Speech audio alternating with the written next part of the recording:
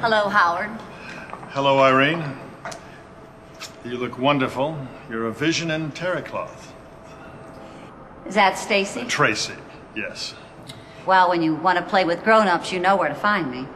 Experience is a virtue, you know. And your experience is well documented, my dear. You really ought to be nicer to your mother, Travis. Who the f are you? In fact, I think you should apologize to her. I'm Mr. Crow's arbitrator. Mr. Crow. I didn't expect to see anybody so soon. We think it's important to resolve things quickly. I'm the same way. Listen, before you say anything, let me just say that I'm glad that Mr. Crow has taken everything that happened between us with a grain of salt. Well, there's no point making a fuss about things now, right? Right on. See? That's what I do. Conflict resolution. That's what I'm all about. Resolute in conflicts. I made a mistake. People make mistakes. Well, we'll see. Oh. Well, January 2001.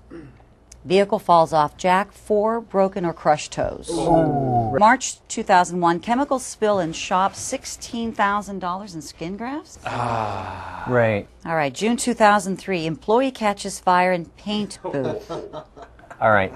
He didn't actually catch yeah, on it- fire. It, was the burns were more a result of his melted clothing touching his skin. the clothing. Look, I, I, um, I don't know how you managed to do this. I don't know who you know at Southwest Mutual, but I, uh, this is a policy I would never have considered for reinstatement. However, you have no choice in the matter, Frankie, and that's it. What, Ma? You you want two dead sons instead of one?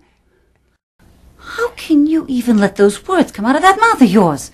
If your father was still alive, God rest his soul, he'd slap that stupid look off your face. Ma, I was just trying. Now you listen to me, Franklin Alfonso, and you listen good. I don't care what you have to do or how you have to do it, but you get yourself into that war and you look after your brother. How am I supposed to? Don't talk back to me like that. What the hell do you want to do? Do you want to put me in an early grave?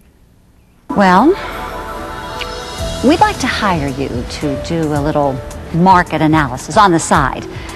You know, a marketing assessment of our idea and consumer reaction.